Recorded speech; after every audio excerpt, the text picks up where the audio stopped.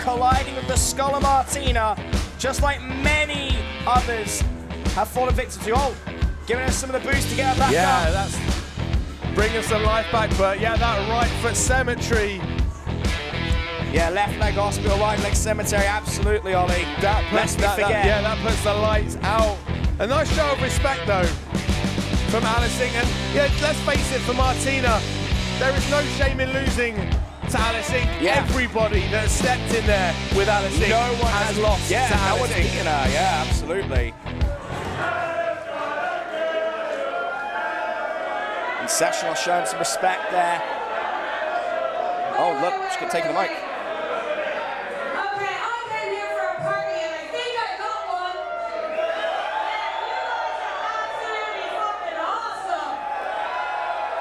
And you, you are one of the best I have ever been in this ring with.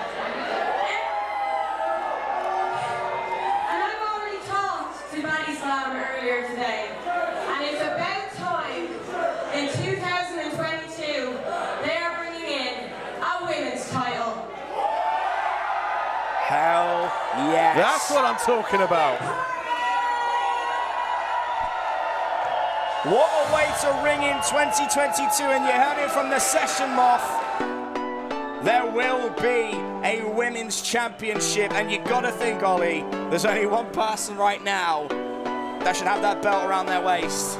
Alice Ing. And whether they give it to her, I was just going go to say, the tournament, who knows? You, you and I know Alice well enough. I don't think she'll want to just be handed No. that. She'll want to earn that belt just as she earned that trophy. Right. and we But hell, well, yeah. 2022 is is the is will be the proving ground for us. And we had a tournament before, we had an all-women's show before, we can do it again. People like Six, people like Betty Rose are going to be watching. It could be a very exciting year for Alice Ing, Ollie. And now one more reason for all eyes to be on Body Slam. And one more reason for the absolute best in Europe to come to Denmark.